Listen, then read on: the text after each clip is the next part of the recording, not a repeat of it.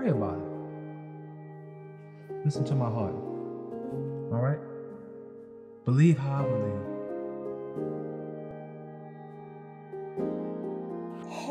Hey, um, this is Nina. Did I catch you at a bad time?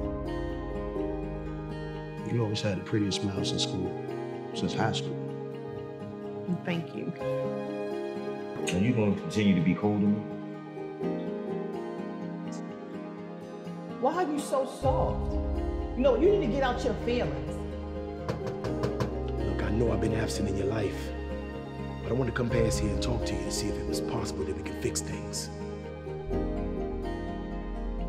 This can't be love.